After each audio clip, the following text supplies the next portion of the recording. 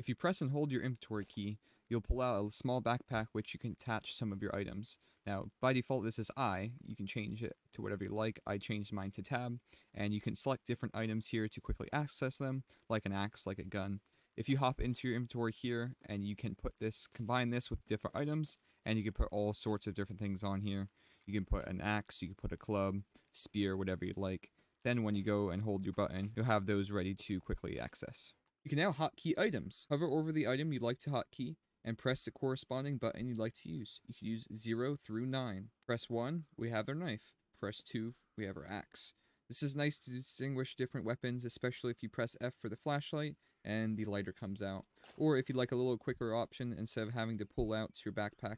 The flashlight has a small indicator on the battery on the side of it. When this battery gets low, your flashlight will begin to lose brightness. So your character will change out some batteries as well as you can combine batteries with your flashlight to swap out. If you're building and you put a log in the wrong spot, press and hold C to pick that log back up and then you can put it in the right spot. You can use your drop slash stow key to throw items.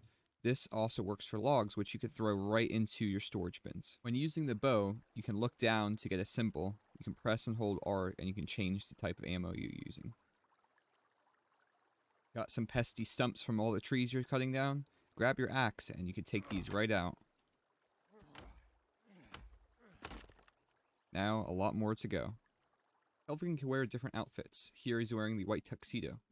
If you go up to him and interact with him, you can scroll down and tell him to take item. Then you can tell him to have any outfit you'd like. Here we have the leather jacket. There is a hoodie, and then his default tactical jacket. I'm sure there's more throughout the game, Right now, I think he's going to roll with a tuxedo, show a little class. Now, also in the wintertime, some of the bodies of water will begin to freeze. This makes for great walkways and natural bridges, but does not make great to drink out of.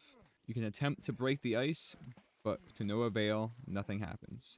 It does make some water noises, so maybe eventually the devs will add it in. Tired of listening to the radio? Take out your axe and destroy it. This will give you some electrical circuit boards, as well as laptops. If you crouch in a bush, you can hide from enemies.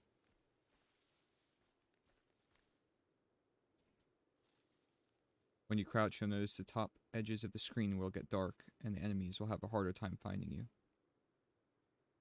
He's close. Not close enough. Did you piss off the locals? Hop in the water. They cannot swim. Make them swim.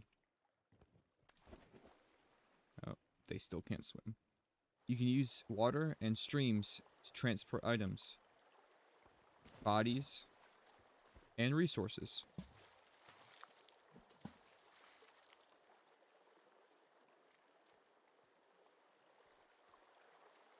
You can make a quick and easy way to save your game, to sleep through the night, or just some shelter. First, we'll need a tarp and a stick. First, you want to grab the tarp, equip that, there will be a red outline where you can place the tarp. You can place this in a cave or you can place it in the wilderness. Then you will need a stick. You can use multiple if you like. And you will want to prop up the tarp here.